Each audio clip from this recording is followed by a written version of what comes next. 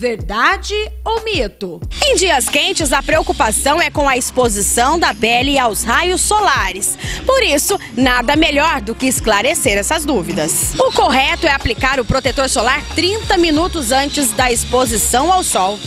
Será que isso é verdade ou é mito? Uai, eu, pra verdade, eu não sei não, eu acho que é verdade, não é? Eu acho pra proteger a pele.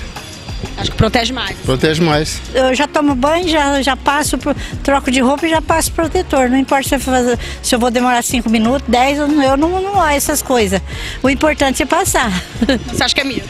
Ah, eu sei lá, eu acho que é. Verdade ou mito? Verdade. Assim, o protetor ele leva um tempo para ser absorvido, né? Para essa camada da pele começar a entender que ela está sendo, as células estão protegidas. Então não adianta aquela pessoa chega na, no mar e vai passar ali na areia, ela já, já perdeu um tempo ali de exposição ao sol. O protetor solar protege a pele o dia todo. Verdade ou mito? É mito. Porque você tem que lavar o rosto umas duas, três vezes durante o dia e passar novamente o protetor.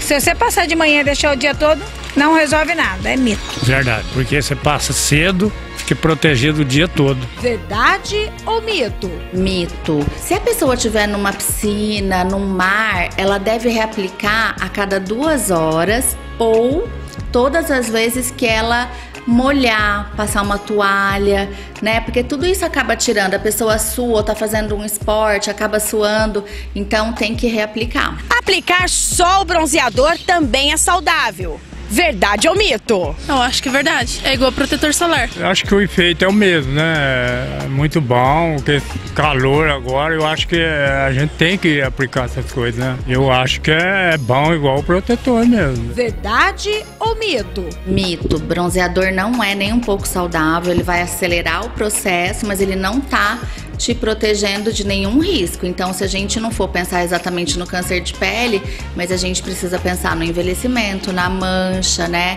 Que é, também são importantes. Verdade ou mito?